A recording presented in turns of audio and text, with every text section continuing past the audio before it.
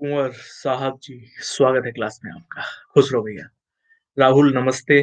निमी महिमा welcome good morning नमस्ते Tej. Ajay, Alok S ji welcome good morning नहीं, आज प्लस वाली क्लास नहीं प्लस वाली क्लास अब मंडे को होगी। गुड मॉर्निंग एस जी नमस्ते, आलोक। प्रांजलि, अंगद, शिवानी, आप सबका भी स्वागत है। नमस्ते, प्रांजलि बेटा। स्टार्ट करते हैं क्लास को। खुश रहूँगा स्वागत है भैया। प्लस वाली क्लास पर लास्ट टॉपिक हम लोगों ने पढ़ा है जो कल कौन सा पढ़े थे? Mathematical operations good morning Shivani कल मैथमेटिकल ऑपरेशंस पढ़े थे हम लोग। और अब मंडे से स्टार्ट करेंगे। प्लस वाली क्लास मंडे को स्टार्ट होगी और टॉपिक होगा सिटिंग अरेंजमेंट आज तो अच्छी खासी धूप निकली हुई है। मंडे को जब टॉपिक स्टार्ट करेंगे तो सिटिंग अरेंजमेंट टॉपिक से स्टार्ट करेंगे मंडे अभी दो क्लासेस लेंगे हम लोग, एक तो ये पीटी को ध्यान में रख करके एक सेट है ये, और दूसरा बारह बजे एक नॉन वर्बल चैप्टर का एक एक चैप्टर होता है डॉट फिगर्स करके। ठीक है? तो डॉट फिगर के क्वेश्चन कैसे होते हैं, क्या करना होता है? हालाँकि सबसे ज़्यादा पूछा जाता है डॉट फिगर का क्वेश्चन एयरफोर्स के एग्ज़ाम में। एयरफोर्स में जो एफ़ कैट का एग्ज़ाम होता है सीडीएस का एग्ज़ाम होता है, उसमें डॉट फिगर के क्वेश्चन पूछ लेते हैं। टेक्निकल ग्रुप जो होता है एक्स वाई उसमें डॉट फिगर के क्वेश्चन पूछते हैं। यूपी के एग्ज़ाम्स में बहुत रेयर पूछा गया है कोई। नहीं, कल नहीं है। शिवानी, अभी पीटी का कोई सीन ही नहीं है, लेकिन हाँ इस वर्ष पीटी होगा मार्च या अप्रैल में तो बस धीमे धीमे उस ओर टेंड कर रहे हैं हम लोग। Good morning Naveen. सरिता जी, आशीष नाजिया आप सबका भी स्वागत है। रवि वेलकम गुड मॉर्निंग अच्छा चलो स्टार्ट करते हैं क्लास बच्चा। बाकी बातें बाद में बतियाएँगे। ठीक है, पहला प्रश्न आप लोगों के लिए चल रहा है। यूपी ट्रिपल एससी के लिए या तो परीक्षा वाणी स्पेशली यूपी ट्रिपल एस लेना है तो दीक्षा पब्लिकेशन या फिर परीक्षा वाणी ये दो बुक्स हैं। इनमें से कोई एक बुक उठा लो बच्चा। ठीक है? नहीं, अभी एग्जैक्ट सिलेबस नहीं आया है। र्यूमर्स हैं सिलेबस को लेकर के अलग अलग वेबसाइट में अलग अलग चीज़ें लिखी हुई हैं, अंगद। तो उन्हीं में से कुछ कॉमन चीज़ों को छाटा है। लगभग लगभग वैसा ही है, जैसा हम लोग रोज शाम को साढ़े छह बजे वाली प्रैक्टिस करते हैं ना, लगभग वैसा ही सेट है ये। ठीक है? बस क्वेश्चन का थोड़ा सा सेट में भी ऊपर नीचे हो डिफिकल्टी लेवल के आधार पर। हाँ ये हमने भी अखबार में पढ़ा, अभी आज सुबह। सुनील पूजा वेलकम चलिए, पहले प्रश्न की ओर चलते हैं बच्चा। पहला प्रश्न आप सबके सामने रहा, ये उत्तर देखिए और बताइए सही उत्तर क्या आएगा। शुक्रवार को एक नियोजित सम्मेलन स्थान पर पहुंचकर मैंने जाना कि मैं निर्धारित दिन के दो दिन पूर्व ही पहुँच गया। यदि मैं आगामी बुधवार को वहाँ पहुँचता तो मुझे कितने दिन की देरी हुई होती ये वो हमसे जानना चाहता है, ठीक है? प्रश्न को ध्यान से पढ़ो, सिंपल सा प्रश्न है और मैं दस सेकेंड में पोल देता हूँ आप लोगों को। Amit, Saurabh, Rohini, Vivek welcome good morning Rohini. स्वागत है बच्चा। और ये रहा इस प्रश्न का पोल आप सबके सामने। बताइए, सही उत्तर क्या आएगा? बड़ा सिंपल सा प्रश्न है। अधिक समय नहीं लगना चाहिए। ले सब खत्म। बर्बाद कर दिए।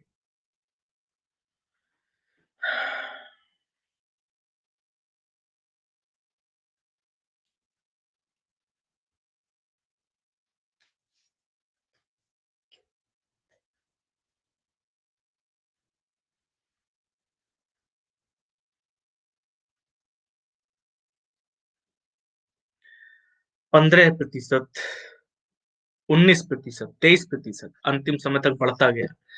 इतना बढ़ गया कि तेईस प्रतिशत लोगों ने सही आंसर कर दिया है।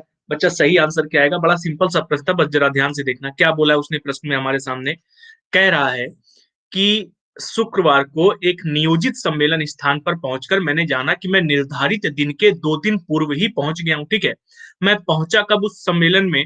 मैं पहुँच गया फ्राइडे के दिन और जब मैं फ्राइडे के दिन वहाँ पर पहुँचा, तब मुझे पता चला कि भैया संयोग जो सम्मेलन है, उसके दो दिन पहले हम पहुँच गए।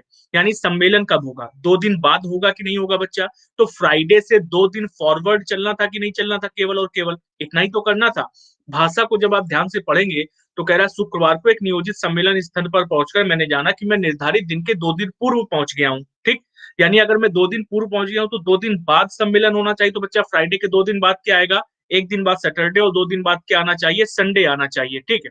अच्छा मतलब कब है वो सम्मेलन? वो सम्मेलन बच्चा संडे के दिन है, और अब उसने हमसे कहा कि यदि मैं आगामी बुधवार को पहुँचता तो कितने दिन की देरी हुई होती?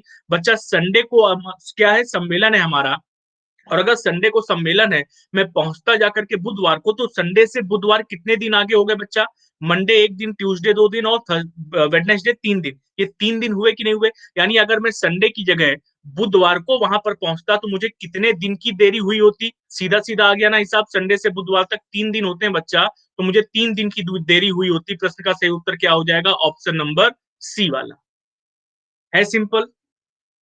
कुछ भी नहीं था प्रश्न। में बड़ा सिंपल सा प्रश्न था, बस भाषा को ध्यान से पकड़ना था बच्चा, ठीक है? मैं आगामी बुधवार को वहाँ पहुंचूँगा तो मुझे तीन दिन की देरी हुई होती।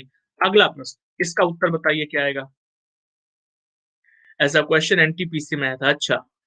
इसका उत्तर बताइए क्या आएगा जल्दी से? एक्स डब्ल्यू सी फिर डॉट है मतलब जहाँ पर फिलिंदी ब्लैंक्स है। T S twenty fill in the blanks P twelve L fifteen के पी जी एस सेवन करके लिखा हुआ है। जानना चाहता है कि भैया फिलिंदी ब्लैंक्स में क्या भरा जाएगा। ध्यान से देखो, मैं पर्याप्त समय देने के बाद आप लोगों को पोल देता हूँ।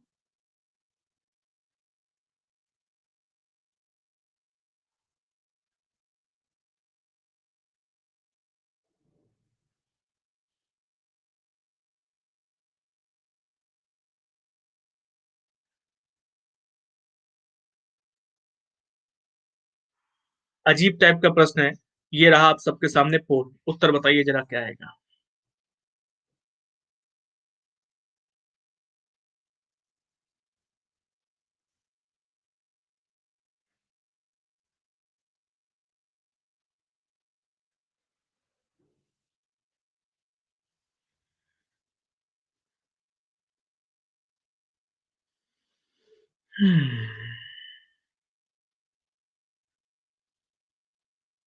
बढ़िया। पचास तिरालीस प्रतिशत लोगों ने इसको सही कर दिया। जिन तिरालीस प्रतिशत लोगों का सही हुआ है लॉजिक समझ में आया क्या चल रहा है लॉजिक आखिरकार?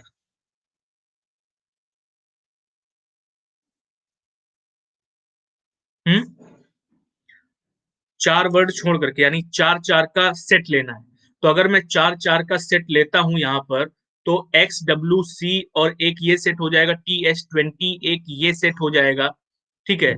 देन वहाँ से जब हम आगे बढ़ते हैं बच्चा तो हमारे सामने सेट कितने कितने निकल करके आ रहे P twelve fill in the blanks L एक सेट हो गया, पंद्रह के पी फिलिंदी ब्लैंक्स एक ये सेट हो गया हमारे सामने, और डैश जी एस सेवन एक ये सेट हो गया हमारे सामने चार चार के लेटर की सीरीज़ चल रही है। लेटर के साथ साथ नंबर भी दिए हुए हैं। अच्छा ऑप्शंस पे अगर नज़र डालते हैं बच्चा तो पहला ऑप्शन हर जगह पर क्या है हमारे सामने?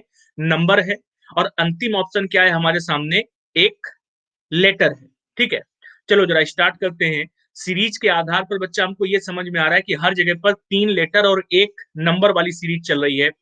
X W C T S twenty P twelve L पर जब चलते हैं तो हमको समझ में आता है कि कहाँ से हम नंबर लिखा सकते हैं। देखो बच्चा नंबर जब उठाने जाएँगे तो ट्वेंटी किसका प्लेस वैल्यू है? टी का प्लेस वैल्यू है कि नहीं है? ट्वेल्व किसका प्लेस वैल्यू है? एल का प्लेस वैल्यू है कि नहीं है? फिफ्टीन लिखा हुआ है, किसका प्लेस वैल्यू हो सकता है? तो फिफ्टीन के और पी का तो हो नहीं सकता प्लेस वैल्यू तो बच्चा क्या हो सकता है? ओ का प्लेस वैल्यू तो यहाँ पर ओ आना चाहिए। पहली बात तो ये समझ में आई, ठीक है? अच्छा यहाँ पर अगर ओ आना चाहिए तो जी एस सेवन बच्चा जी एस सेवन में जी का भी प्लेस वैल्यू कितना होता है और एस का भी प्लेस वैल्यू तो यहाँ पर ये जी की प्लेस वैल्यू लिखी हुई है ना, और अगर ये जी की प्लेस वैल्यू बच्चा लिखी हुई है तो कंडीशन कैसे बना सकते हैं? इसका मतलब है एक्स डब्ल्यू सी में बच्चा या तो एक्स की प्लेस वैल्यू लिखी होगी या तो डब्ल्यू की प्लेस वैल्यू लिखी होगी। एक्स की प्लेस वैल्यू चौबीस और डब्ल्यू की प्लेस वैल्यू कितनी होती है? तेईस। ऑप्शन में हमको तेईस नज़र आ रहा है, यानी ऑप्शन नंबर डी क्या हो जाएगा? इस प्रश्न का सही उत्तर हो जाएगा। अच्छा एक्स डब्ल्यू बच्चा एक साथ लिखा है टी एस एक साथ लिखा है। यहाँ पर देखो पी और एल तो बच्चा पी और एल के साथ क्या आना चाहिए? हमें दिख रहे हैं कि दो लेटर हमेशा कैसे सीरीज़ में लिखे जैसे एक्स और डब्ल्यू हमेशा एक साथ आते हैं, वैसे ही टी और एस हमेशा एक साथ आते हैं बच्चा। तो यहाँ पर क्या आना चाहिए हमारे सामने? ट्वेंटी के बाद टी एस ट्वेंटी लिखा हुआ है तो क्या आ सकता है अब हमारे सामने? यहाँ पर एच ऑप्शन में दिया हुआ है, ठीक? दूसरा ऑप्शन पी ट्वेल्व करके दिया हुआ है बच्चा तो पी ट्वेल्व के बाद क्या आना चाहिए? के और ओ तो बच्चा के आ जाएगा, यहाँ पर के भी दिया हुआ है ओ ऑलरेडी हमारे सामने, यहाँ पर क्या आ जाएगा? एच और जी एक साथ आ जाएगा तो एच हो गया यहाँ पर, और यहाँ पर क्या बच रहा है हमारे सामने? केवल और केवल एच तो प्रश्न का सही उत्तर क्या हो जाएगा? ऑप्शन नंबर डी वाला twenty three H K O H option number D समझ आ गया प्रश्न की नहीं आ गया? क्या चल रहा था प्रश्न के अंदर? ठीक है अच्छा प्रश्न था अच्छा लॉजिक लग रहा था। अगला प्रश्न, ये आप सबके सामने, उत्तर बताइए क्या आएगा?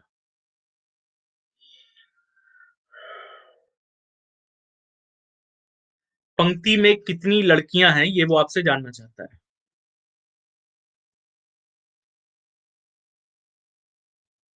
सिंपल प्रश्न है, एक सिंपल सा फिगर और प्रश्न आपका सही हो जाएगा।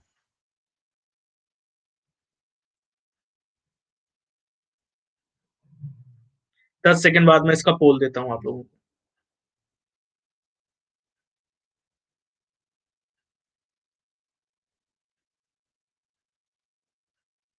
और ये रहा इसका पोल, उत्तर बताइए।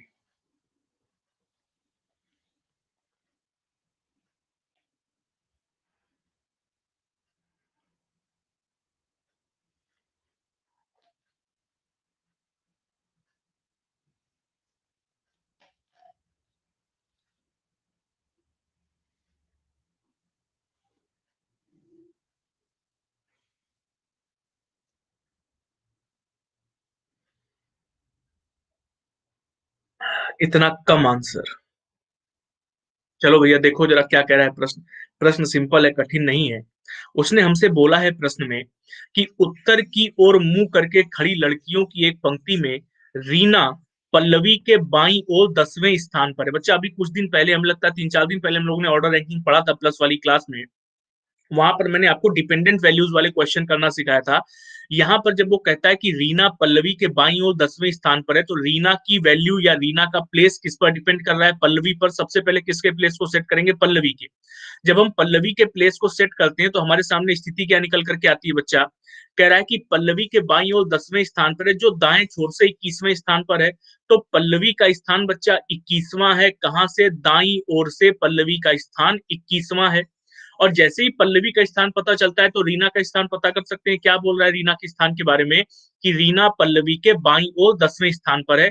पल्लवी का स्थान दाई ओर से इक्कीसवां है। और चलना कहाँ पर है बच्चा? बाई ओर, यानी राइट से लेफ़्ट जा रहे हैं तो वैल्यू को प्लस कर देंगे। कितना? दस। प्लस ऐड करने पर कितना मिलता है हमको? इकतीस मिल जाता है। ये रीना का स्थान है कहाँ से? राइट हैंड साइड से। फिर आगे क्या बोला उसने? कह रहा है, यदि मालिनी, जो बाएँ छोर से सत्रहवें स्थान पर है मालिनी, जो बाएँ छोर से सत्रहवें स्थान पर है, रीना के दाहिनी और चौथे स्थान पर है। बच्चा, रीना के ऊपर किसकी वैल्यू डिपेंड कर रही है? मालिनी की वैल्यू डिपेंड कर रही है रीना के ऊपर। मालिनी की दो प्लेसेस होंगे। बाएँ छोर से उसका स्थान सत्रवा डायरेक्टली दिया गया और दाएँ छोर से स्थान किस पर डिपेंड है? रीना के ऊपर डिपेंड है। तो उसने क्या बोला है? कि रीना के दाहिनी ओर चौथे स्थान पर। बच्चा, रीना का स्थान कितना है? इकतीस। कहाँ से? दाहिनी ओर से। वापस कहाँ जाना है? दाहिनी ओर जाना है, यानी दाएँ से दाएँ जा रहे तो वैल्यू को माइनस करेंगे। कितना माइनस करना है? चार। इकतीस में से चार को माइनस करेंगे। कितना निकल करके आ जाएगा? ये बच्चा सत्ताईस निकल करके आएगा। किसका स्थान होगा ये? ये मालिनी का स्थान होगा। कहाँ से? राइट हैंड साइड से। लेफ़्ट हैंड साइड से मालिनी का स्थान ऑलरेडी दिया हुआ है। कितना? सत्रह। तो मालिनी का स्थान दोनों तरफ़ से पता चल गया ना? लेफ़्ट से भी पता चल गया, राइट से भी पता चल गया। उसने कहा, पंक्ति में कितनी लड़कियाँ हैं? बच्चा सत्रह और सत्ताईस को आपस में जोड़ा, कितना आएगा? चवालीस और माइनस का एक कर दिया। प्रश्न का उत्तर क्या आ जाएगा? फोर्टी थ्री आ जाएगा। पंक्ति में तिरालीस लड़कियाँ हैं। समझ आ गया? जितने लोगों का गलत हुआ था। नमस्ते अविनाश, स्वागत है भैया। कोई डाउट है इसमें? डिपेंडेबल वैल्यूज़ वाले क्वेश्चन बच्चा ऑर्डर रैंकिंग के जितने भी बनते हैं, उसमें एक एक स्टेप आपको आगे बढ़ना होता है। मालिनी का स्थान डिपेंड कर रहा है रीना पर। रीना का स्थान डिपेंड कर रहा है पल्लवी पर तो पहले पल्लवी के प्लेस को फिक्स करेंगे, इसके बाद रिपीट कर देते हैं बच्चा। पहले पल्लवी के प्लेस को फिक्स करेंगे, पल्लवी का प्लेस फिक्स कर लेंगे, तब रीना का प्लेस फिक्स होगा और रीना का प्लेस फिक्स कर लेंगे, तब कहीं जाकर के पल्लव, हम लोग मालिनी के फेस पर पहुँच पाएँगे, ठीक है? क्या बोला था प्रश्न में? केवल और केवल। उसने बोला, पल्लवी का स्थान कितना है? 21 है। कहाँ से? दाई ओर से। और पल्लवी के बाई ओर दसवें स्थान पर रीना है। तो बच्चा, पल्लवी से बाई ओर गए, दसवें स्थान पर रीना। पल्लवी का स्थान पता था राइट से, जाना था लेफ़्ट की ओर तो राइट से लेफ़्ट यानी दूरी बढ़ रही है वैल्यू को ऐड कर देंगे, कितना हो गया? इकतीस, दस, इकतीस, ये रीना का स्थान राइट हैंड साइड से मालिनी रीना के दाहिनी ओर चौथे स्थान पर है बच्चा। मालिनी का स्थान चौथी ओर है रीना के दाहिनी ओर, ठीक है?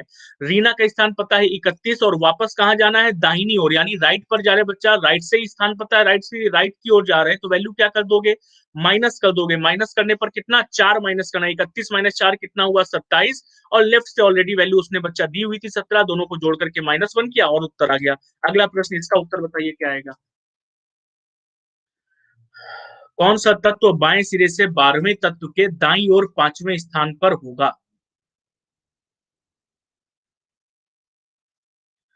पाँच ऑप्शन हैं।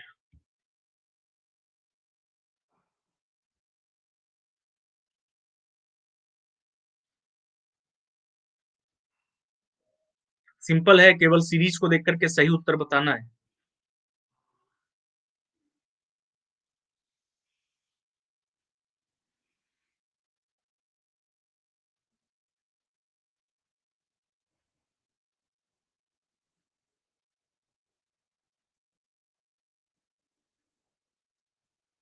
और ये रहा इस प्रश्न का पोल आप सबके सामने। बताइए उत्तर।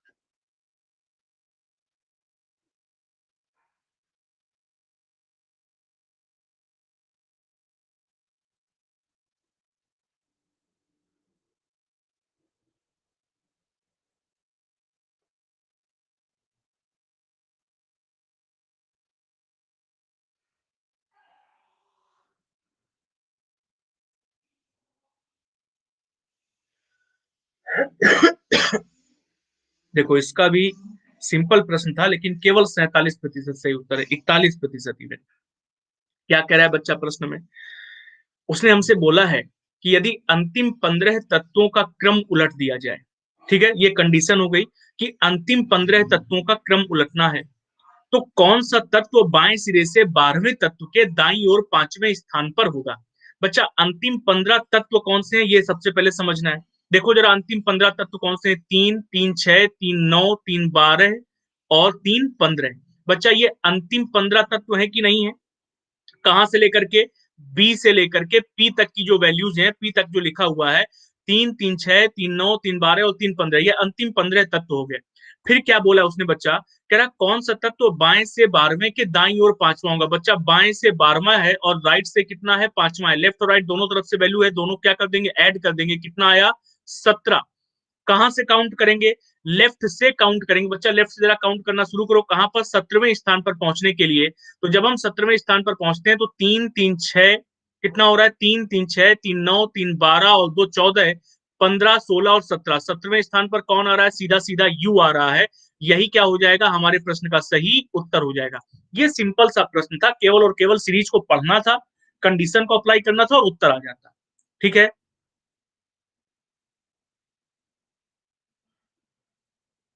Tanya, Amit welcome good morning नहीं बच्चा, आज प्लस वाली क्लास नहीं है प्लस वाली क्लास इस महीने की एंड हो गई है।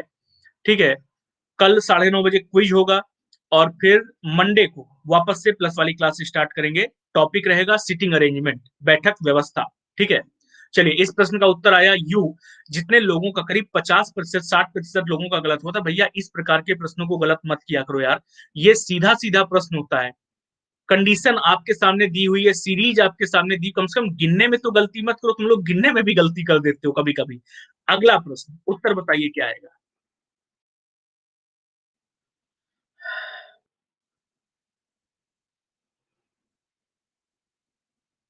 दिए गए सेट के समान संख्या कौन सी है?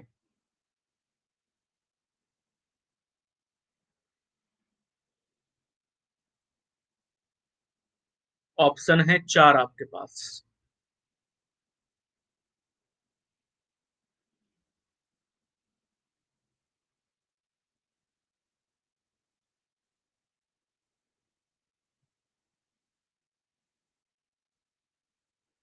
मॉडरेट लेवल का रहेगा। राहुल, बहुत सिंपल नहीं हो सकता है, ना ही, और चूँकि पहली बार करा रहे इसलिए बहुत कठिन पर भी नहीं जाएँगे। मॉडरेट लेवल का सेट रहेगा। ये रहा पोल आप सबके सामने।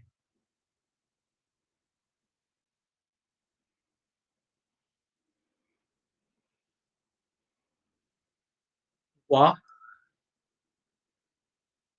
इतने सारे सही आंसर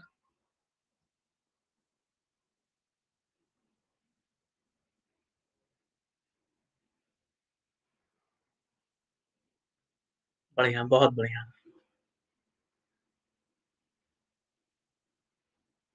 पैंसठ प्रतिशत लोगों का आंसर सही आया है। क्या लॉजिक क्या लग रहा है? सिंपल प्रश्न है। क्या लॉजिक लग रहा है? नौ सौ बानवे, सात सौ तैतीस, आठ सौ पैंतालीस, छह सौ बत्तीस करके एक हमारे सामने नंबर्स का सेट दिया गया है, ठीक है? नंबर्स के इन सेट के आधार पर उसने बोला है, उस संख्या को चुने जो दिए गए सेट के समान है। तो लॉजिक क्या लगाया है? नौ सौ बानवे से सात सौ तैतीस, सात सौ तैतीस से आठ सौ पैंतालीस, आठ सौ पैंतालीस से छह सौ बत्तीस देखने में लगता है कि नंबर सीरीज़ जैसा कोई क्वेश्चन है। लेकिन ये संख्याओं का बच्चा सेट है, हमको संख्या के अंदर लॉजिक पता करना है कि संख्या में लॉजिक क्या लग रहा है। नौ नौ, दो करके दिया हुआ है। नौ नौ, अठारह और आठ, एक, नौ नहीं होगा। ठीक है? नौ दूनी अठारह और आठ, एक, नौ हो जाएगा। हाँ देखो क्या चल रहा है बच्चा। अगर मैं पहली और अंतिम संख्या को क्या करूँ? आपस में मल्टीप्लाई करूँ, कितना आता है? अट्ठारह और अट्ठारह को बच्चा वापस से जोड़ के सिंगल डिजिट में कन्वर्ट करें तो वन प्लस एट किसके बराबर होता है? नौ के। यानी बीच वाली संख्या मिल रही है ना? सात तिया इक्कीस। बच्चा इक्कीस को जोड़ देंगे, दो प्लस एक कितना आ जाएगा? तीन आ जाएगा। अठ पन चालीस। चालीस यानी चार प्लस ज़ीरो को जोड़ने पर कितना आ रहा है? चार आ रहा है कि नहीं आ रहा है? यानी पहली और अंतिम संख्या को अगर गुणा करते हैं और गुणा करने के बाद जो संख्या हमारे सामने आती है उन संख्याओं को आपस में क्या कर दिया जाए? जोड़ दिया जाए। तो जोड़ने पर कहा? बीच वाली संख्या पर पहुँच रहे हैं। उसी प्रकार से सात तिया सात तिया इक्कीस, दो प्लस एक तीन हो रहा है अठपन चालीस चार प्लस ज़ीरो चार हो रहा है। छह दूनी बारह, वन प्लस टू कितना हो रहा है बच्चा? तीन। क्या बाकी में ये लॉजिक चल रहा है? चार एकदम चार, एक आ रहा है बीच में कैंसिल छह तिया अट्ठारह कैंसिल पाँच चौको बीस, दो प्लस ज़ीरो बच्चा कितना आएगा? बीस, यानी दो प्लस ज़ीरो, दो आ जाएगा। ऑप्शन कौन सा सही हो जाएगा? ऑप्शन नंबर सी वाला सही हो जाएगा। समझ आ गया सबको? समझ आ गया? चलो, अगला प्रश्न, उत्तर बताओ क्या आएगा? फ्रांस, स्पेन, जर्मनी, सही संबंध ढूंढिए। सही संबंध क्या है? मौसमी समा वेलकम। फ्रांस, स्पेन, जर्मनी की तरह कौन सा विकल्प समानता दर्शाता है।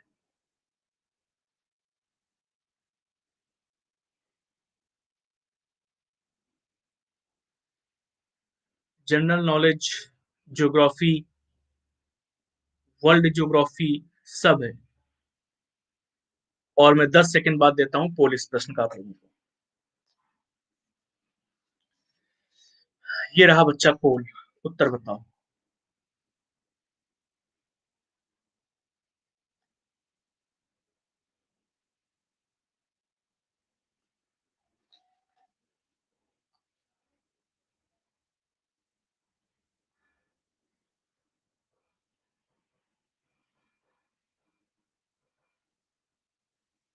बढ़िया, बहुत बढ़िया।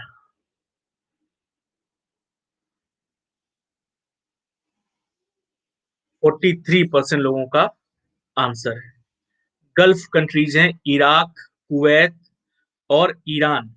फ्रांस, स्पेन और जर्मनी में क्या लॉजिक है?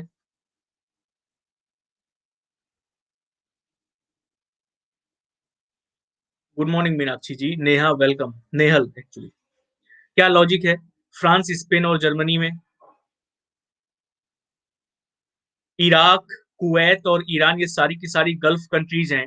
वैसा ही कुछ लॉजिक हमको लगाना था फ्रांस, स्पेन और जर्मनी के आधार पर। बच्चा, फ्रांस, स्पेन और जर्मनी, ये क्या है? तीन अलग अलग देशों के नाम हैं। और जो बीच वाला देश लिखा हुआ है, स्पेन, ये फ्रांस और जर्मनी के बीच में आता है। मैप के अकॉर्डिंग जब हम चलते हैं तो मैप के अकॉर्डिंग फ्रांस और जर्मनी के बीच में कौन सा देश आता है? स्पेन आता है। उसी प्रकार से इराक और ईरान के बीच में कौन सा देश आता है? कुवैत आता है। इसलिए प्रश्न का उत्तर क्या हो जाएगा? ऑप्शन नंबर सी उसने हमसे प्रश्न में पूछा था कि कुछ शब्द दिए गए हैं। ये फ्रांस, स्पेन, जर्मनी कुछ शब्द दिए गए हैं जो किसी ना किसी तरह से संबंधित हैं। ठीक है? वही संबंध पता करके हमको सही विकल्प बताना था। संबंध क्या था बच्चा? फ्रांस, स्पेन और जर्मनी में कि फ्रांस, स्पेन, जर्मनी तीनों अलग अलग देशों के नाम है और स्पेन कहाँ पर पड़ता है? फ्रांस और जर्मनी के बीच में। उसी प्रकार से इराक और ईरान के बीच में कौन पड़ता है? कुवैत। तो प्रश्न का उत्तर क्या हो जाएगा? ऑप्शन नंबर सी वाला। अगला प्रश्न, उत्तर बताइए। Good morning Neha ji, welcome. Padma पुरस्कार की। बिल्कुल, वो अच्छी क्लास है तो अच्छी ही होगी।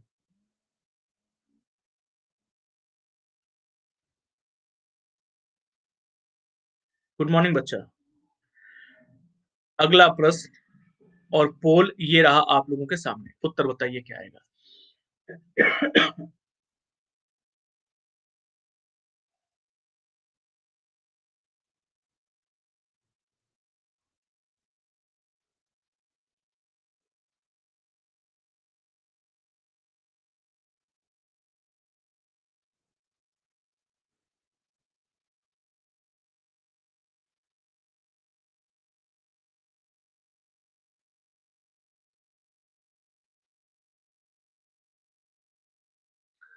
छत्तीस प्रतिशत। लॉजिक क्या है?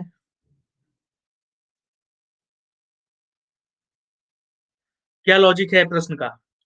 रणभूमि जिस प्रकार संघर्ष से संबंधित है, वैसे ही इनमें से कौन संबंधित होगा?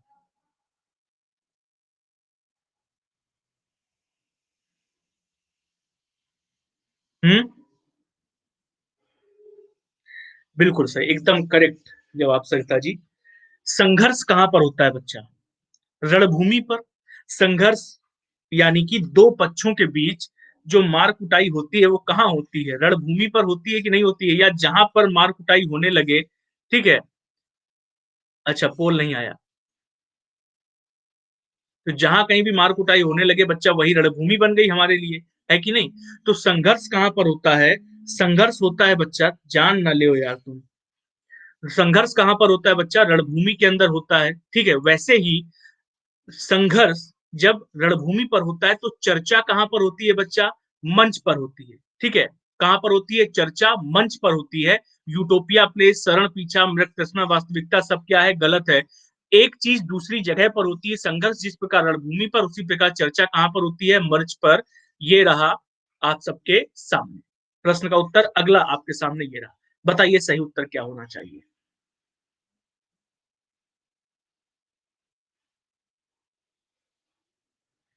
पूर्व धारणा का प्रश्न है, सही उत्तर क्या होगा? चार ऑप्शंस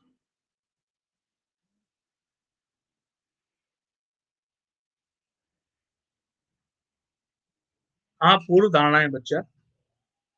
और पढ़ो फिर मैं देता हूँ पोल दस सेकेंड बाद।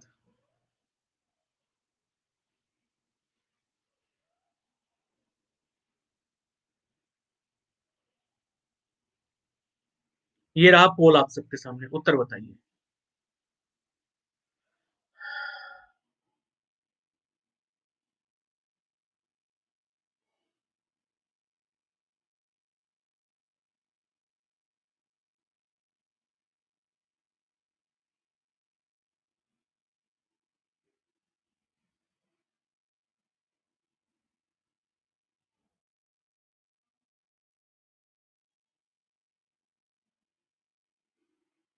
चालीस प्रतिशत लोगों का सही है कि पहला और दूसरा दोनों ही गलत है।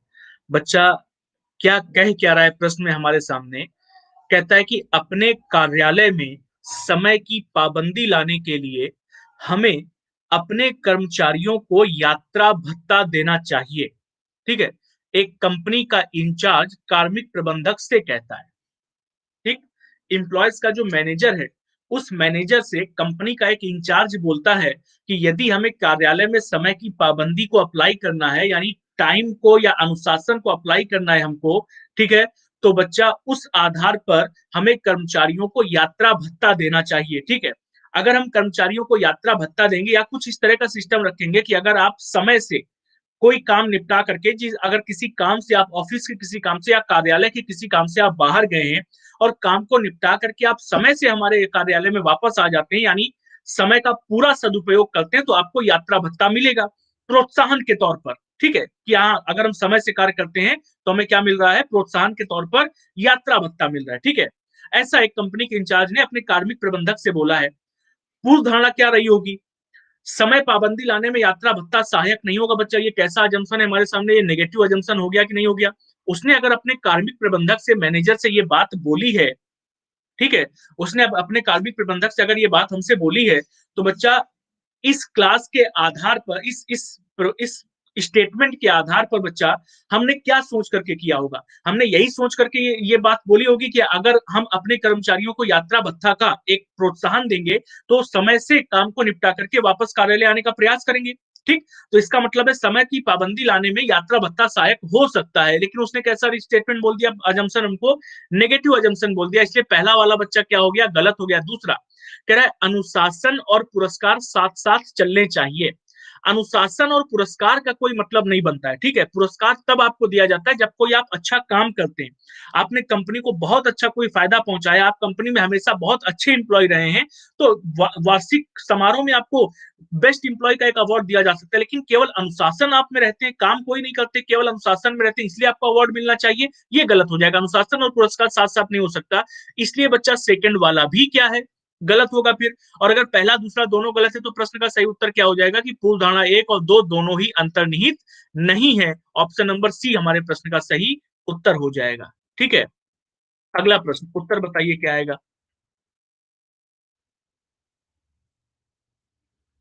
अच्छा तुम क्लास ढूंढ रहे थे, मिली नहीं। ध्यान से उतर गया होगा? हमने बताया था कि कल सुबह प्लस वाली नहीं स्पेशल वाली क्लास होगी। स्वागत है सानू। वेलकम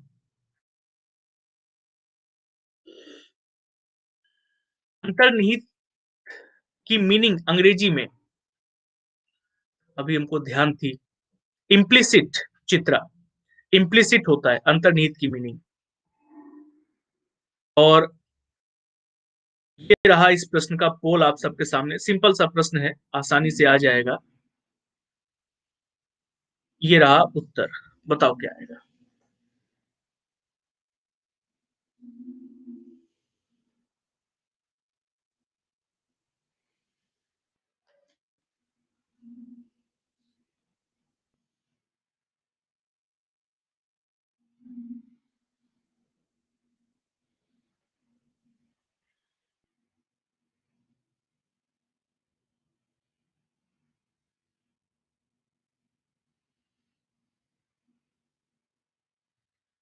चलो, तिरासी प्रतिशत लोगों का उत्तर सही है।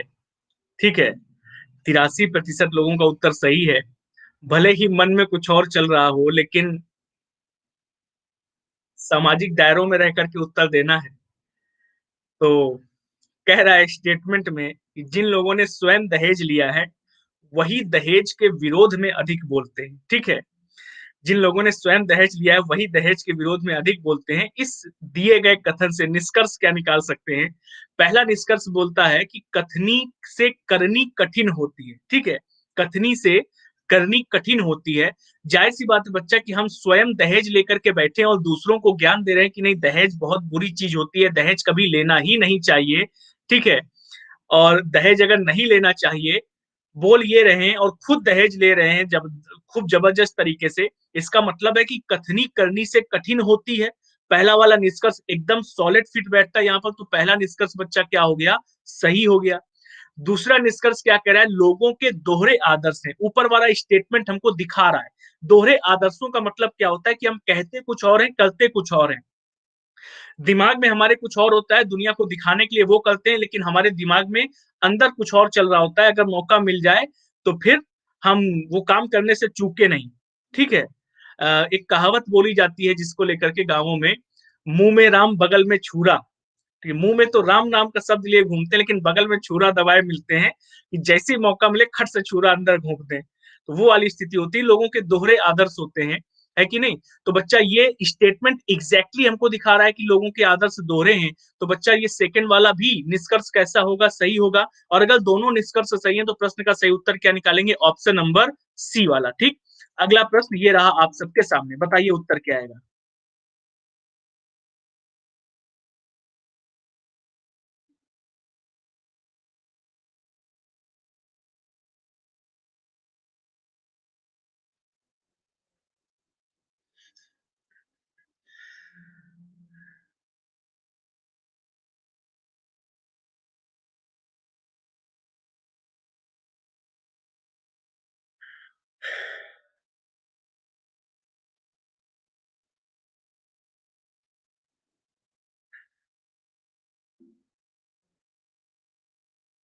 ये रहा इस प्रश्न का पोल आप सबके सामने।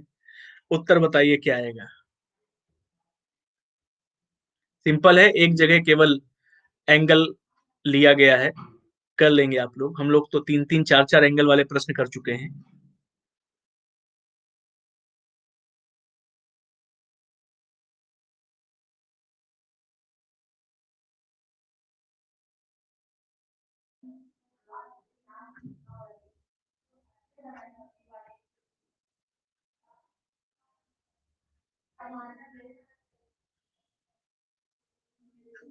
यार, ये तो सिंपल प्रश्न था, लेकिन अधिक लोगों का गलत है।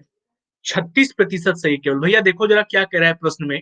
कह रहा है, दीपा ने उत्तर की ओर पचहत्तर मीटर की दूरी को तय किया। ठीक है, चलना कहाँ से स्टार्ट किया बच्चा?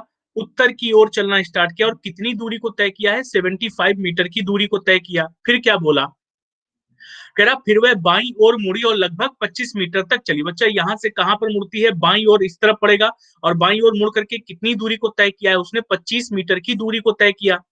फिर से बोलता है कि फिर से वह बाएँ मुड़ी और 80 मीटर तक चलती है। यहाँ से बाई और मुड़ेगी तो बाया कहाँ पड़ेगा? नीचे की ओर पड़ेगा। और कितनी दूरी को तय किया है? 80 मीटर की दूरी को तय किया है। इसके बाद बोला है उसने, कह रहा है, अंत में वह 45 डिग्री के कोण पर दाई ओर मुड़ गई। ठीक है? खड़ी कहाँ पर है दीपा?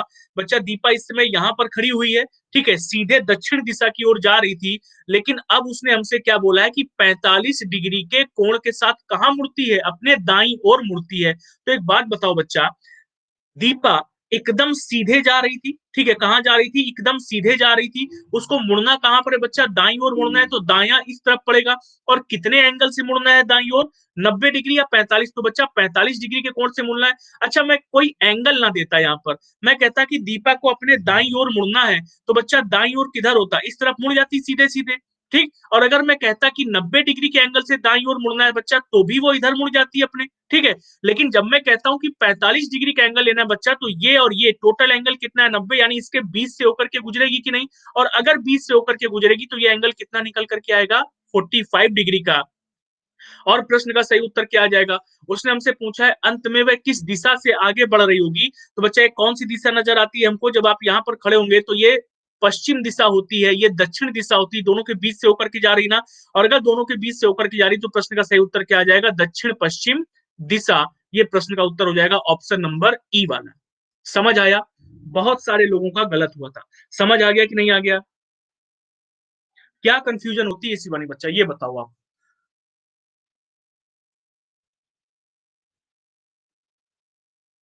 बी की साइड मुड़ा दिया था मतलब इस तरफ़ टर्न ले लिया था।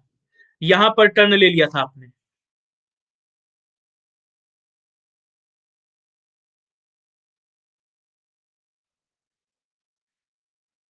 ठीक है, चलो अगले प्रश्न की ओर नॉर्थ वेस्ट अच्छा। समझ गए। अभी उस पर फिर डिस्कशन करते हैं शिवानी जी, ठीक है? इस प्रश्न का उत्तर बताइए सब लोग, क्या आएगा?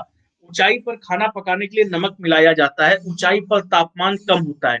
क्या दोनों स्टेटमेंट सही हैं? और अगर सही है तो क्या सही व्याख्या है, ये वो आपसे जानना चाहता है। उत्तर बताइए पढ़ करके और मैं आपको देता हूँ पोल इस प्रश्न का। After ten seconds ten to fifteen seconds बताओ जरा सही उत्तर क्या आना चाहिए।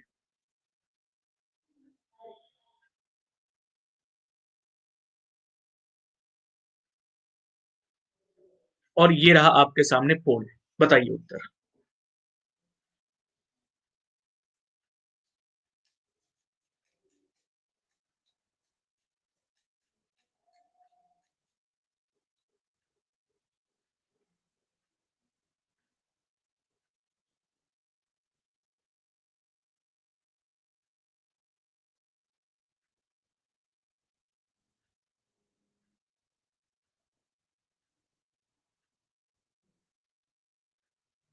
बहुत सारे लोग ए पर गए हैं और बी पर गए हैं इकतीस प्रतिशत लोग। ठीक है? क्या कह रहा है बच्चा प्रश्न में? पहले कथन में उसने हमसे बोला है, ऊंचाई पर खाना पकाने के लिए नमक मिलाया जाता है। ठीक है? ऊंचाई पर खाना पकाने के लिए नमक मिलाया जाता है। इस कथन का मतलब क्या है? कहाँ नमक मिलाते हैं आखिरकार? कहाँ नमक मिलाते हैं खाना पकाने के लिए? क्या मतलब क्या है इस चीज़ का? ऊंचाई पर खाना पकाने के लिए नमक मिलाया जाता है और दूसरा स्टेटमेंट बोल रहा है रीजन बोला उसने कि ऊंचाई पर तापमान कम होता है। ठीक है, ऊंचाई पर तापमान कम होता है। प्रश्न को जब आप ध्यान से पढ़ते हैं तो उसने कहा है कि भैया दो हमारे सामने कथन और कारण करके दिए गए कथन और कारण दोनों सही है कि नहीं? सबसे पहले ये बताओ। ठीक है कथन और कारण दोनों सही है कि नहीं? अच्छा अगर कथन और कारण दोनों सही हैं तो क्या पहले वाले कथन की सही व्याख्या नीचे वाला कारण कर रहा है क्या? जब आप चेक करते हैं प्रश्न को तो ऊंचाई पर खाना पकाने के लिए नमक मिलाया जाता है, ये बिल्कुल सही कथन है। ठीक है? ऊंचाई पर तापमान कम होता है, ये भी बिल्कुल सही कथन है। दोनों ही कथन क्या है? सही है। अब हमारे सामने अगली कंडीशन क्या है बच्चा कि दोनों कथन सही हैं? बताते हैं बच्चा भी। अगर दोनों कथन सही हैं तो उस स्थिति में क्या ये सही व्याख्या दी गई कि नहीं दी गई है? पहला प्रश्न जब, पहला ऑप्शन बोलता है कि यदि ए और आर दोनों सही है और आर ए की सही व्याख्या, यानी ये जो रीजन दिया गया है, ऊंचाई पर खाना पकाने के लिए नमक मिलाने का, वो रीजन क्या है? एकदम पर्याप्त करेक्ट रीजन है। नहीं, ये कैसा गलत रीजन है? गलत रीजन है बच्चा। दूसरा, यदि ए और आर दोनों सही है, लेकिन आर ए की सही व्याख्या नहीं है तो दोनों सही तो है, लेकिन ये जो रीजन है, वो करेक्ट नहीं दिया गया तो ये वाला ऑप्शन क्या हो जाएगा? ऑप्शन नंबर बी करेक्ट हो जाएगा। अब होता क्या है बच्चा? ऊंचाई पर खाना पकाने के लिए नमक मिलाया जाता है, क्योंकि तापमान कम होता है नहीं, क्योंकि ऊंचाई पर दबाव कम हो जाता है। ठीक है, जब हम ऊंचाई पर पहुँचते हैं, ठीक है, जब हम ऊंचाई पर पहुँचते हैं तो दबाव कम हो जाता है। दबाव कम होने की वजह से पानी का जो उबलने का बिंदु है वो कितना होता है? हीटिंग पॉइंट कितना होता है? किस पॉइंट पर पानी उबलने लगता है? पता है? फिजिक्स का क्वेश्चन है। सिंपल सा। सौ डिग्री सेंटीग्रेड। ठीक, बढ़िया। सौ डिग्री पर पानी उबलने लगता है, ठीक है? सामान्य स्थिति पर 100 डिग्री सेंटीग्रेड पर पानी उबलने लगता है। लेकिन जब हम ऊंचाई वाली जगह पर होते हैं जहाँ पर दबाव बच्चा कम होता है तो पानी 100 डिग्री सेंटीग्रेड पर नहीं उबलता, बल्कि और कम जगह में, और कम हीट में ही उबलने लगता है। यानी पानी का जो उष्मा बिंदु होता है, वो क्या हो जाता है? कम हो जाता है। और जब पानी का उष्मा बिंदु कम हो जाता है तो पानी जल्दी गर्म हो जाता है। ठीक? पानी तो जल्दी गर्म हो जाता है लेकिन बच्चा, पानी में किसी चीज़ को पकने के लिए जो समय चाहिए, वो समय उतनी देर तक नहीं होता, ठीक है? क्योंकि पानी जल्दी पक जाएगा बच्चा तो पानी जल्दी पक करके बाप बन के उड़ जाएगा उतनी देर में सब्ज़ी या दाल आप कैसे पका सकते हैं, ठीक है?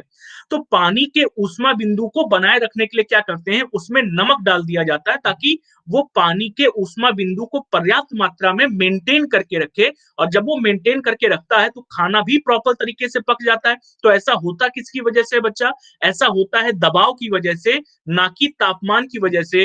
तो ये रीजन गलत है, व्याख्या सही नहीं है, लेकिन दोनों चीज़ें क्या है, दोनों स्टेटमेंट आपस में बच्चा क्या है, सही है तो प्रश्न का सही उत्तर क्या हो जाएगा ऑप्शन नंबर ए वाला हो जाएगा। समझ आ गया?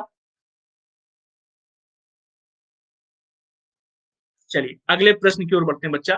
ये रहा अगला प्रश्न आप सबके सामने। उत्तर बताओ जरा क्या आएगा? नो रिस्क नो गेन इससे आप क्या समझते हैं? डी वाला क्या था? अरे बच्चा डी वाला ऑप्शन हमारे सामने कि ए गलत है, लेकिन आर सही है, लेकिन ए वाला गलत कहा है बच्चा? ए वाला सही है, ऊंचाई पर खाना पकाने में नमक का इस्तेमाल ज़्यादा किया जाता है खाना पकाने के दौरान।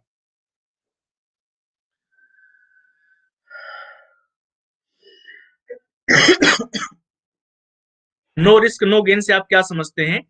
ठीक है, और ये रहा आपके सामने इस प्रश्न का पोल बताइए सही उत्तर, क्या आना चाहिए?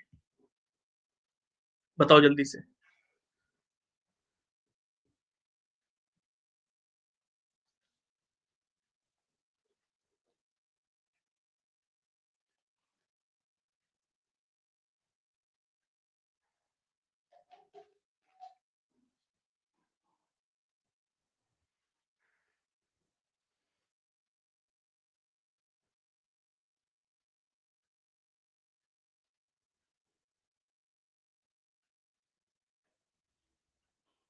अट्ठावन प्रतिशत लोग गए हैं, छप्पन प्रतिशत लोग डी पर क्या बोला है बच्चा प्रश्न में? उसने बोला है कि नो रिस्क नो गेन ये जो स्टेटमेंट दिया गया है छोटा सा या एक एक छोटी सी कहावत है नो रिस्क नो गेन आप इससे क्या समझते हैं? केवल और केवल ये जानना चाहता था। कहता है कि नो रिस्क नो गेन से आप महसूस करते हैं कि जोखिम का मतलब कोई लाभ नहीं है, ठीक है?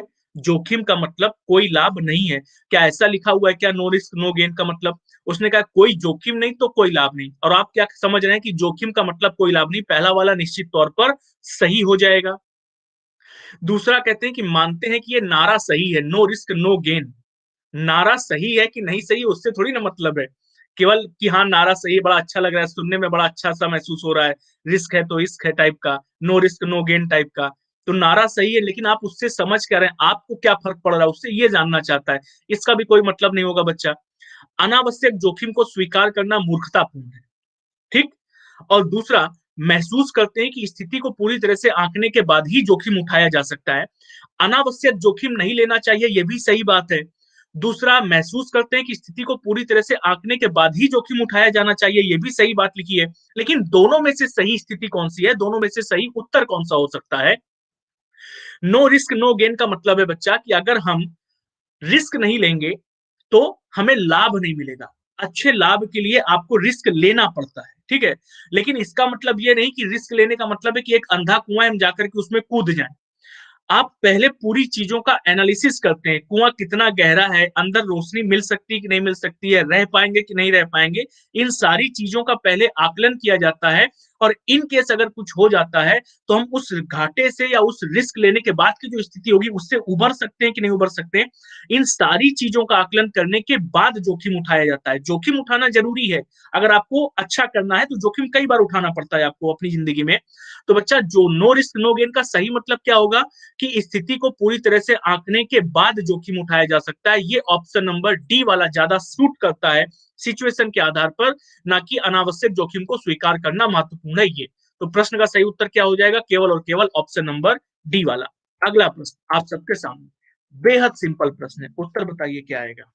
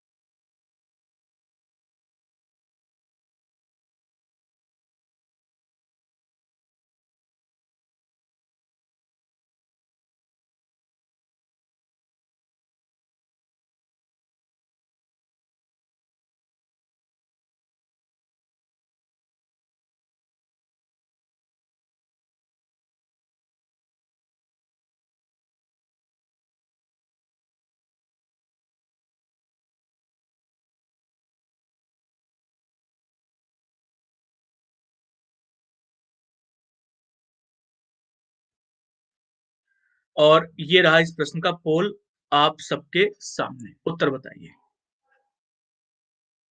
बहुत सिंपल सा प्रश्न था।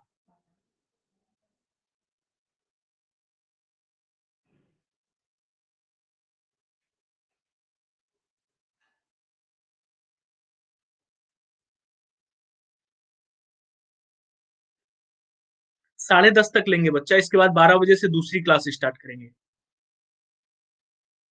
इतना सिंपल सा प्रश्न है और बहुत सिंपल तरीके से बी कहा ऑप्शन दिया था? मैंने तो ऑप्शन नंबर डी दिया है।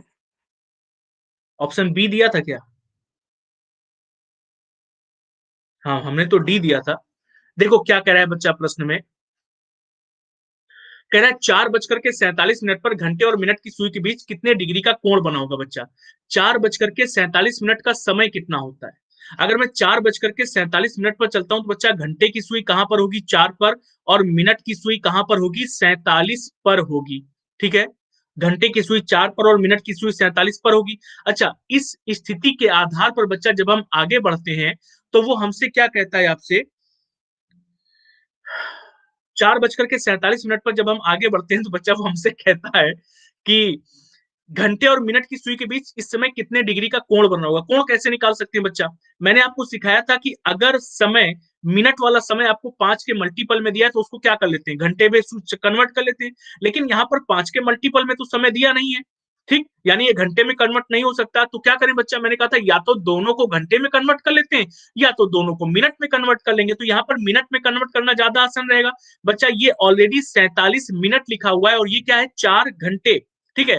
इसको अगर मिनट में कन्वर्ट करना होगा तो क्या करोगे? पाँच से गुणा करोगे कितना निकल करके आया? बीस मिनट हो गया बच्चा की नहीं हो गया? अच्छा ये बीस मिनट लिखा है बच्चा, और ये सत्ताईस मिनट लिखा है। बीस और सत्ताईस मिनट। कितने मिनट का डिफरेंस इनके बीच में? इनके बीच में बच्चा सत्ताईस मिनट का डिफरेंस आएगा कि नहीं? अब आपको पता है कि एक मिनट में केवल और केवल छह डिग्री का कोण बनता है। एक मिनट में छह डिग्री का कोण बनता है। तो बच्चा सत्ताईस मिनट में कितने डिग्री का कोण बनेगा? छह डिग्री का कोण बनने के आधार पर सत्ताईस इंटू छह कितना हो जाएगा? ये हो जाएगा हमारे सामने एक सौ बासठ डिग्री हो जाएगा। तो ये आ गया एक सौ बासठ डिग्री। लेकिन एक सौ बासठ डिग्री का तो एंगल नहीं बन रहा होगा बच्चा एग्जैक्टली क्यों नहीं बन रहा होगा? क्योंकि चार बजकर के सैतालीस मिनट पर घंटे वाली जो सुई होगी बच्चा, वो चार से आगे बढ़ चुकी होगी। घंटे की सुई चार से आगे बढ़ चुकी कितना आगे बढ़ चुकी होगी घंटे की सुई चार से? तो बच्चा, जब घंटे की सुई चार से आगे बढ़ेगी तो कितना आगे बढ़ती है? जितने मिनट होते हैं, मैंने कहा था, उसका बटे दो कर देते हैं। ये बटे दो क्यों करते हैं? घंटे की सुई द्वारा प्रत्येक मिनट में चली गई दूरी। कितनी होती है? एक बटे दो डिग्री का कोण बनाते हुए चलती है, ठीक है? तो सैंतालीस बटे दो बच्चा कितना आएगा? तेईस दशमलव पाँच आ जाएगा, प्लस या माइनस तो मैंने आपको कहा था कि बच्चा मिनट वाली सुई पर खड़े होकर के देखना कि घंटे की सुई पास आ रही है या दूर जा रही है। तो जब आप मिनट वाली सुई पर खड़े होते हैं तो घंटे की सुई आपको पास आते हुए नज़र आ रही ना, और अगर पास आते हुए नज़र आ रही तो माइनस कर देंगे, कितना आना चाहिए? एक डिग्री। क्या हमको कहीं पर एक सौ अड़तीस दशमलव पाँच डिग्री का आंसर नज़र आ रहा है? नहीं। तो प्रश्न का उत्तर क्या कर देंगे? इनमें से कोई नहीं। ये हमारे प्रश्न का सही उत्तर हो जाएगा। समझ आ गया? जितने भी लोगों का गलत हुआ था। हाँ शिवानी, बताओ बच्चा क्या? ठीक है? ये मैंने बताया था। अगला प्रश्न, उत्तर बताइए। निम्नलिखित कथनों का परीक्षण कीजिए।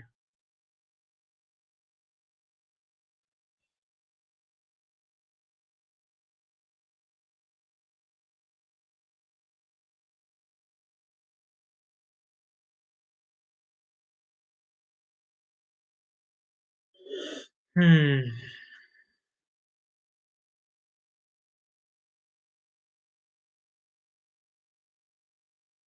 और ये रहा इस प्रश्न का पोल आप सबके सामने। खाली देखने में बड़ा लग रहा है, लेकिन बड़ा सिंपल सा प्रश्न है और ये रहा पोल। उत्तर बताओ, क्या आएगा?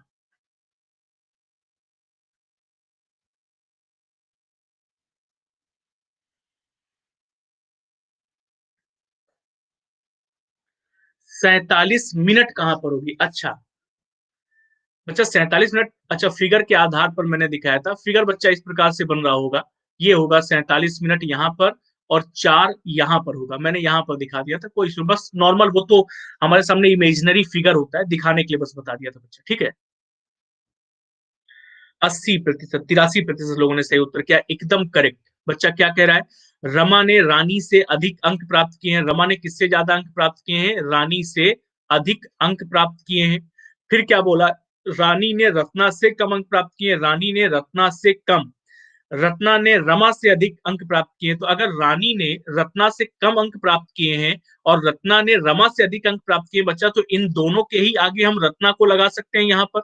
ठीक है, इन दोनों के ही आगे रत्ना को लगा सकते हैं।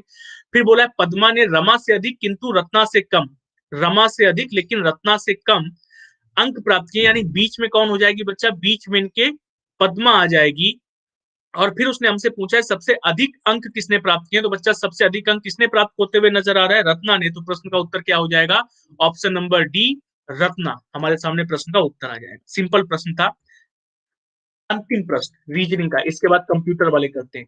किसी सांकेतिक भाषा में मिनरल को ये साउंड को ये लिखा जाता है तो रीडर को किस प्रकार लिखा जाएगा? उत्तर बताइए, क्या आएगा? किस प्रकार से रीडर को लिखेंगे?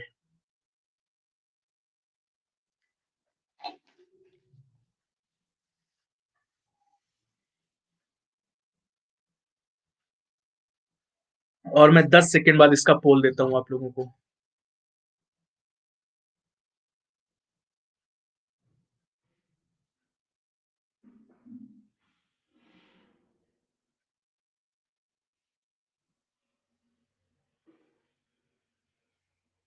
ये रहा पूल सिंपल है प्रश्न एकदम उत्तर बताइए।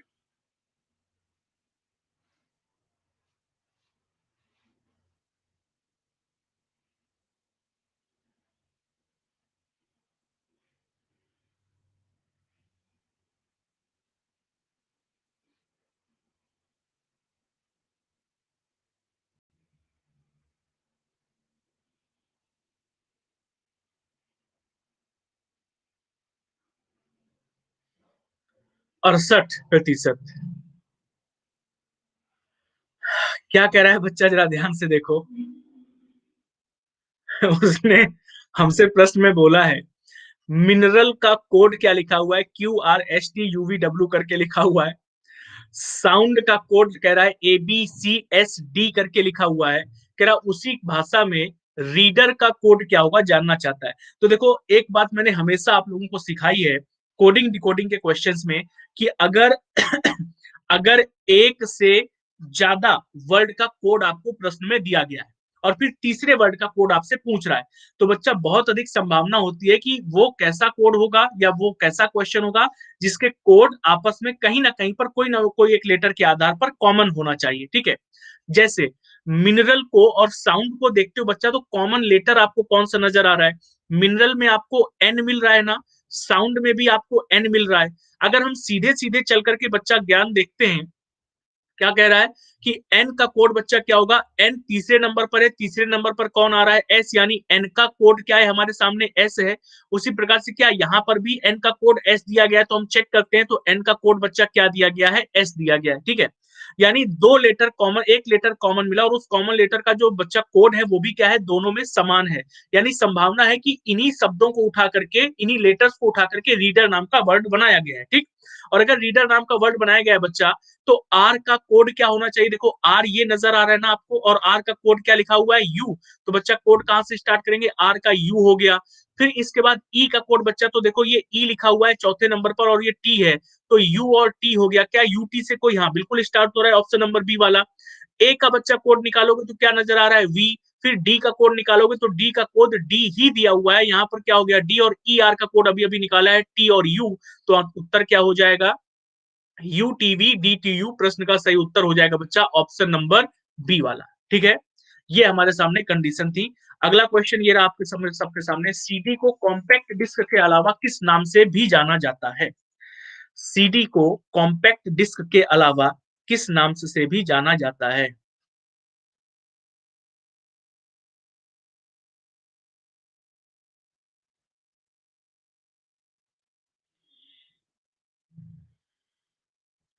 और ये रहा आप सबके सामने इस प्रश्न का पोल। उत्तर बताओ क्या आएगा? काहे लड़े ले रहे हो तुम लोग एकदम?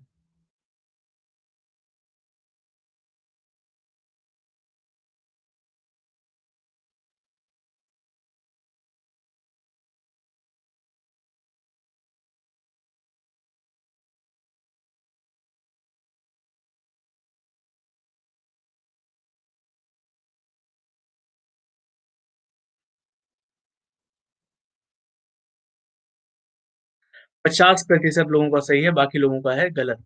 क्या बोला है बच्चा प्रश्न में उसने? सीडी कॉम्पैक्ट डिस्क को किस नाम से भी जाना जाता है? ऑप्टिकल डिस्क के नाम से भी जाना जाता है बच्चा। मेमोरी के अंतर्गत सेकेंडरी मेमोरी स्टोरेज में एक ऑप्शन आता है ऑप्टिकल डिस्क का। ठीक है? ऑप्टिकल डिस्क के अंतर्गत क्या क्या चीज़ें आती है बच्चा? ऑप्टिकल डिस्क के अंतर्गत आता है आपका सीडी ठीक है? सी डी आर डब्ल्यू यानी रीड और राइट दोनों कर सकते हैं। ये केवल सीडी रीड होता है सी डी आर करके लिखा जाता है, ठीक है? साथ ही साथ आपके सामने आता है डीवीडी आर का, ठीक है?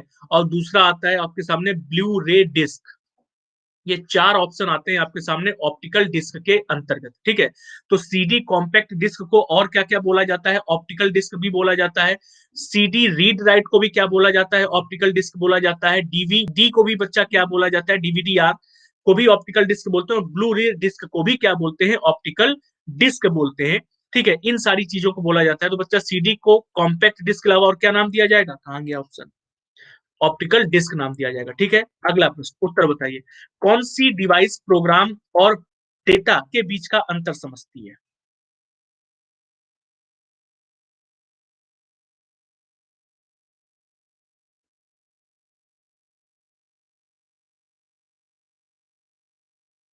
और ये रहा आपके सामने पोल।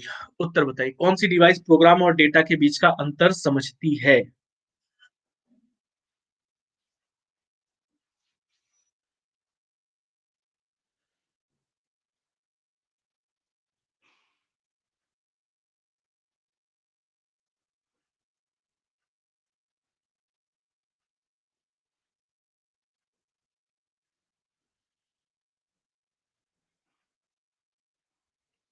ये ये कॉमन सेंस का प्रश्न था सीधा सीधा हम लोगों के सामने, छप्पन प्रतिशत केवल सही उत्तर है।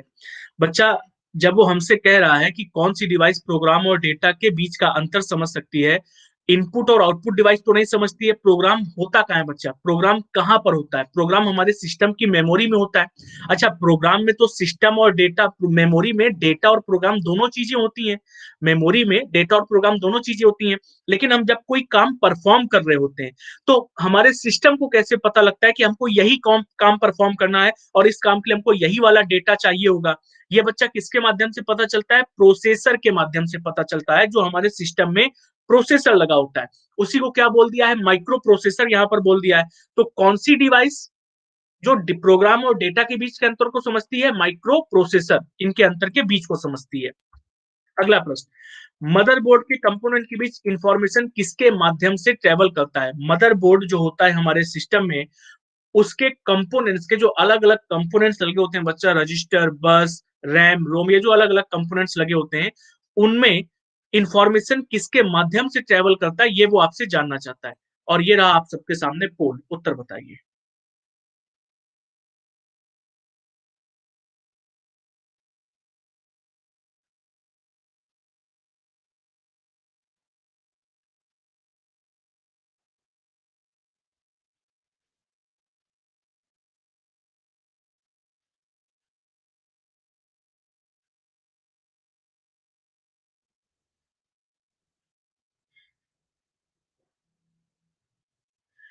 इसके बावजूद भी तो बत्तीस परसेंट लोगों ने सही किया।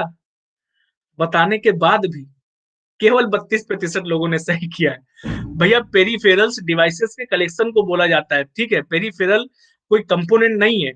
फ्लैश मेमोरी नहीं सीएमओस नहीं बसेस के माध्यम से ट्रेवल करता है, ठीक है? किसके माध्यम से? बसेस के। हमारे सामने जो मदर बोर्ड होता है बच्चा, इस मदर बोर्ड में तमाम छोटे छोटे से कंपोनेंट्स लगे होते हैं। कहीं पर रजिस्टर कहीं पर कैश ठीक है? कैश मतलब मेमोरी कहीं पर रोम कहीं पर रैम लेकिन मदर बोर्ड के एक एरिया से दूसरे एरिया तक, यानी सीपीयू तक, जो प्रोसेसिंग यूनिट है हमारा या जो कंट्रोल यूनिट है, वहाँ तक कैसे ट्रांसफ़र होता है बच्चा?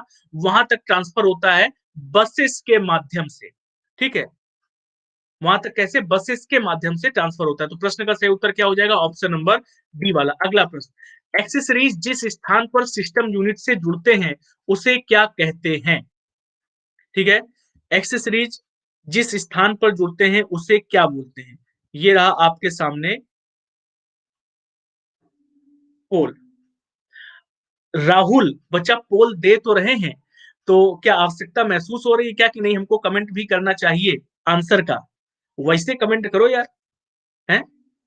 पोल अगर ना आ रहा हो, और यदि पोल आ रहा है तो प्रयास ये करो कि पोल पर कमेंट करो, ठीक है बच्चा?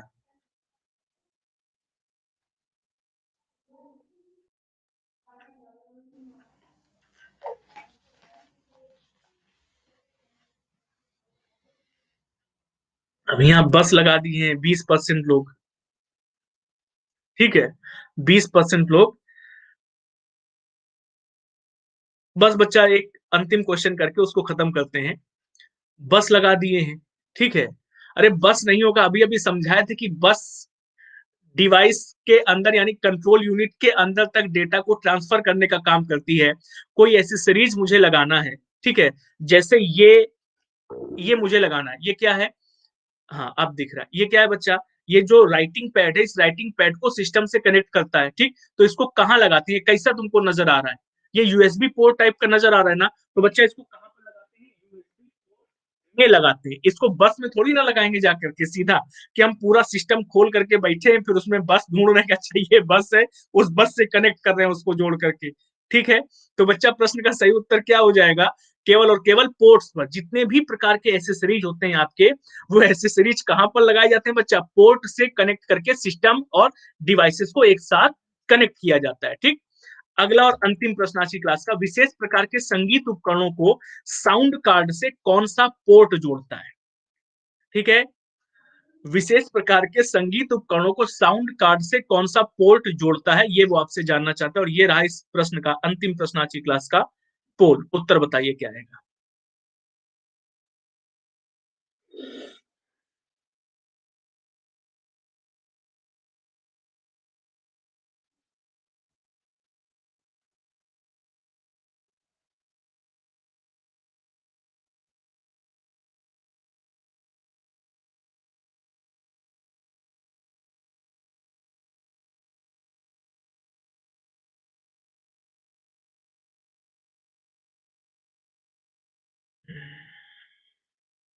सी पर गए हैं बहुत सारे लोग। यूएसबी एक पोर्ट होता है बच्चा लेकिन यूएसबी पोर्ट पर म्यूज़िक से संबंधित ठीक है? आ, हाँ प्लस वाली क्लास में कराए थे बताए भी थे इसको।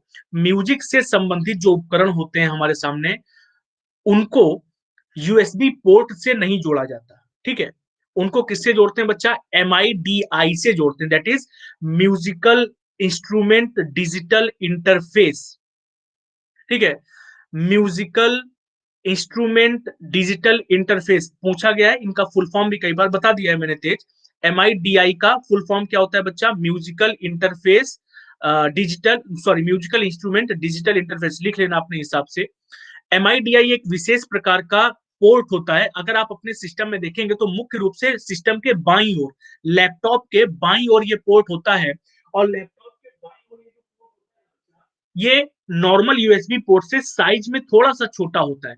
नॉर्मल यूएसबी पोर्ट आपको अगर इस प्रकार का दिखता है साइज़ में तो ये नॉर्मल यूएसबी पोर्ट से क्या होता है? छोटा होता है और पतला होता है थोड़ा सा, इस प्रकार का होता है, ठीक है? और इसमें आप माइक वगैरह को या अदर जो साउंड सिंथेसाइजर्स होते हैं, उन सारे डिवाइसेस को आप यहाँ पर एम आई डी आई में जोड़ते हैं, ठीक है? तो इस प्रश्न का सही उत्तर क्या हो जाएगा? एम आई डी आई हो जाएगा।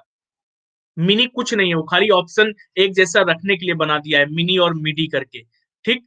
चलिए तो अब लीडर बोर्ड पर चलते हैं, आज की क्लास को यहीं पर खत्म करते हैं। दोपहर बारह बजे वापस से मुलाकात होगी और दोपहर बारह बजे जो टॉपिक है स्पेशल क्लास के डॉट फिगर्स के कुछ क्वेश्चंस करेंगे। डॉट फिगर्स के साथ साथ मिसिंग टर्म के कुछ क्वेश्चंस करेंगे। मिसिंग टर्म के साथ साथ कुछ क्वेश्चन करेंगे हम लोग इनइक्वालिटी के। ठीक है, आप लोगों ने बोला था इनइक्वालिटी के कुछ क्वेश्चन और करने के लिए। तो बच्चा, ये तीन टॉपिक के क्वेश्चन करेंगे। डॉट फिगर मिसिंग टर्म और इनइक्वालिटी ठीक? और ये रहा आज का लीडर बोर्ड आप सबके सामने। बीस क्वेश्चन की हम लोगों ने, पंद्रह सही आलोक के, फिर चौदह, तेरह, बारह, ग्यारह।